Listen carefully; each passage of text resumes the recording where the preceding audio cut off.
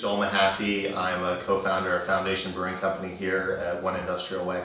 Uh, we've been here at One Industrial Way since uh, the beginning of July 2013, uh, working on remodeling and fitting up the place, um, putting up new walls, painting, getting the tasting room built out, and uh, we're looking to start production sometime in the next month to have finished beer ready to roll out at the beginning of March.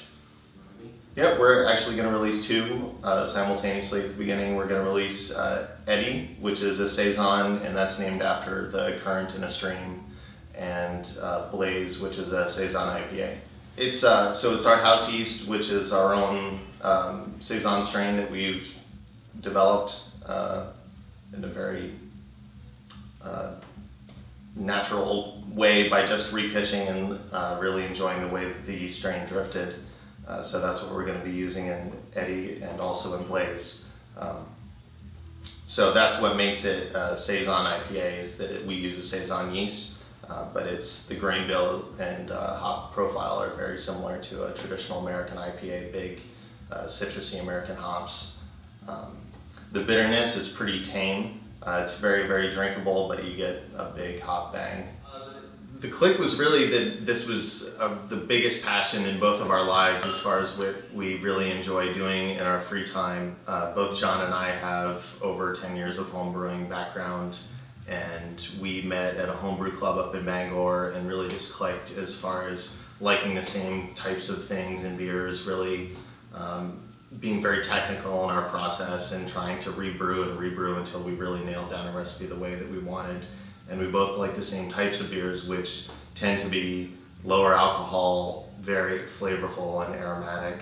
Uh, the types of beers that you can enjoy drinking for a few hours and, you know, still enjoy the rest of the night and not just be done after, you know, five ounces of a 15% barley wine. So we met at a homebrew club, uh, like I said, and uh, we started by, you know, just swapping beers and we were like uh, we were both really into the same kinds of beers. So for a little while, we were brewing, and every time there'd be a home brew club meeting, you know, I bring a few extra bottles of something, of some, some beers that I brewed that I thought that he would really dig on, and the same thing. And uh, we sort of went back and forth that way until we started talking about, you know, what do you think about opening a brewery together?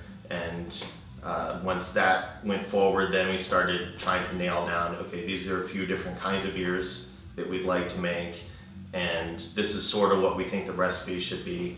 So sometimes we tag teamed, you know, he'd take one and I'd take one and we'd brew it. Other times, um, you know, we would, he would brew one version of our IPA and then I would brew the next version and then he would brew the next version and it just depended on who had more free time in their schedule.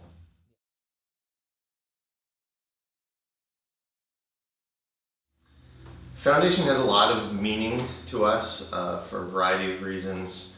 Uh, we, we, firstly, we like the idea or the story that people tell that civilization was founded on the desire for beer and that people stopped being hunter-gatherers because they wanted to cultivate grain so that they could make fermented grain beverages. Um, that's kind of a fun story that, uh, that we like. I don't know how much truth there is to it, but it's fun nevertheless. Uh, but we also feel that uh, beers, and especially session beers, are really sort of the foundation of social interaction.